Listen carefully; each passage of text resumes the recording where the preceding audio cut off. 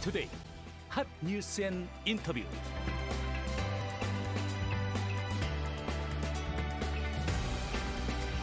장애인들이 독립적으로 경제 활동을 하고 자신의 삶을 만들어갈 수 있도록 직업 훈련을 돕는 능력 개발원이 수도권에 부족했습니다.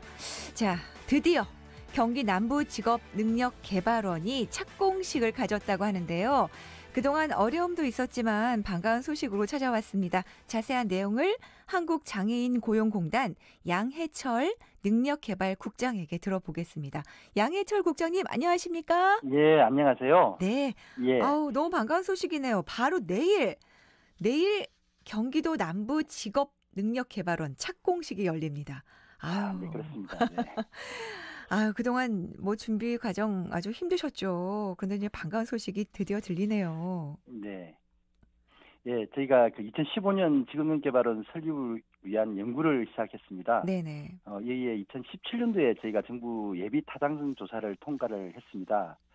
어, 이후에 그 저희가 부지를 매입한다든가 설계 과정에서 공사비가 증가하는 등 사실 음. 말 못할 어려움도 많이 있었습니다. 네네. 어, 그렇지만 국회나 고용노동부, 기획재정부 등 정부 기관 등에서 네. 적극적인 지원이 있어서 오늘 예, 일이 가능한 것 같습니다. 음.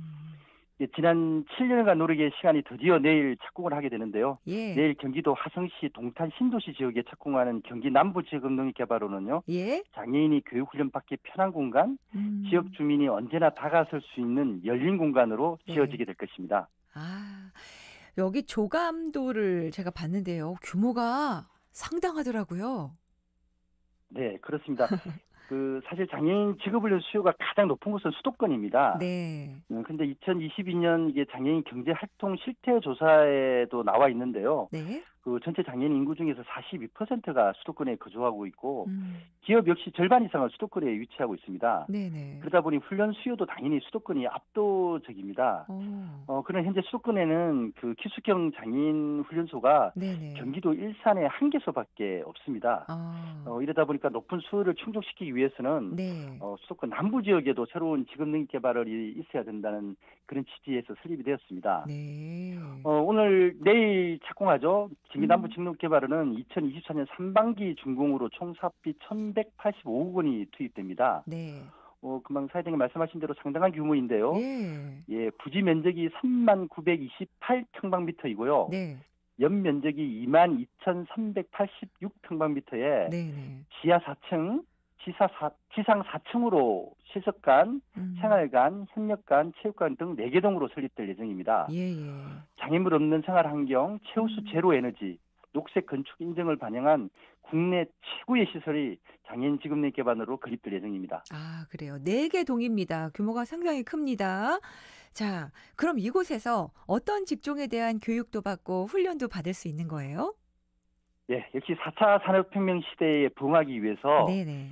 기계 로봇이라든가 음. 전자 반도체, 정보통신 등 기간 산업의 중심의 직업 훈련도 있고요. 네. 그 외에도 기업에서 요구한 실무 중심의 음. 융복합 교육 훈련 과정이 다양하게 운영될 예정입니다. 네. 어, 또한 장애 유형별 전문 훈련 과정으로요. 네. 시각, 청각 장애인을 위한 전용 훈련 과정도 개설될 예정입니다. 음.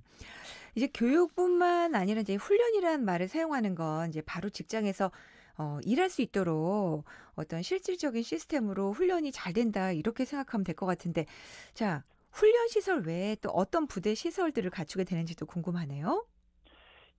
먼저 장애인 그 훈련생들이 훈련을 받는 동안에 내 집처럼 편안하게 지낼 수 있어야 되, 기 음, 때문에 네, 편의시설을 잘 갖춘 생활관이 일단 있습니다. 네, 어, 생활관에는 우리 훈련생들이 편안하게 그 생활할 수 있도록 또 활기차게 생활할 수 있도록 음. 편의점이라든가 네. 세탁실, 게임룸, 식당 등 다양한 지원 시설과 또 휴게 공간도 마련할 예정입니다. 네. 음, 또한 다양한 프로그램이 자연스럽게 융합 할 수 있도록 음, 커뮤니티 공간도 함께 준비를 하고 있습니다. 네. 또 미래 지향적인 정보 교류장이 될 북카페, 음. 훈련생의 건강 유지를 할 수 있는 의료시설, 와. 체육관, 운동장, 네.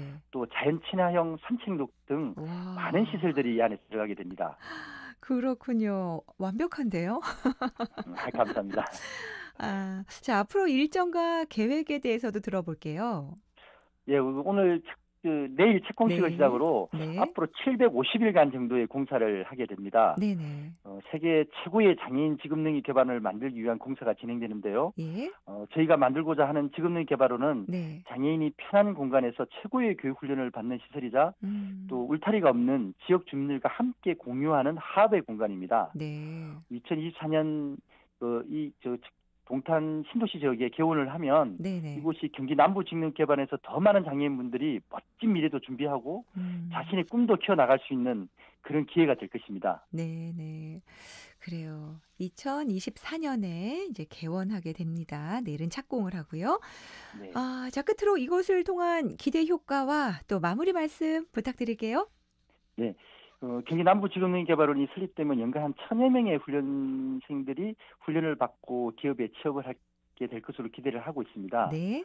어, 장애인의 적성과 희망에 맞는 훈련을 통해서 장애인이 취업 경쟁력이 향상될 것입니다. 네. 또한 기업체 입장에서는 원하는 우수한 인력의 장애인분을 훈련 과정을 통해서 그 받기 때문에 좋은 일자리도 창출될 것이라고 생각을 하고 있습니다. 네. 어, 최고의 장애인 직업 능력이 될 수 있도록 음. 많은 격려와 성원을 부탁드립니다. 시청자 여러분들 응원도 부탁드리겠습니다. 네, 감사합니다. 그래요. 정말 뭐 적성과 희망에 맞는 다양한 장애인 직업 교육 정말 필요한 건데 이런 공간이 이제 마련된다고 하니까 정말 반가운 소식이네요. 네, 오늘 말씀 잘 들었습니다. 고맙습니다. 예, 감사합니다. 네, 지금까지 한국장애인 고용공단 양해철 능력개발국장과 함께했습니다.